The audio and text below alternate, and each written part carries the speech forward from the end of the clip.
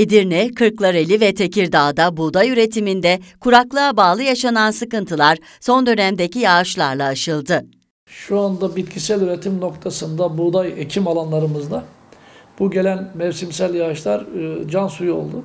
Kırklareli'nde 1 milyon 200 bin dekar alanda buğday ekildiğini ifade eden İl Tarım ve Orman Müdürü Mehmet Aksoy, yağışların ümit verici olduğunu söyledi. Şu anda bu yağışlarımız çok faydalı oldu.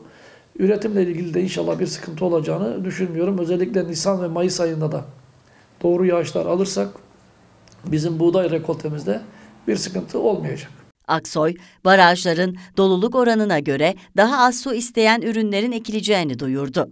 Barajlarımızdaki suyun eksik olması durumunda mısır ekili olarak düşün, ekim alanı olarak düşündüğümüz alanları ayçiçeği kuru alanlara çevireceğiz. Dolayısıyla yağlık ürünlerde bir artışımız olacak.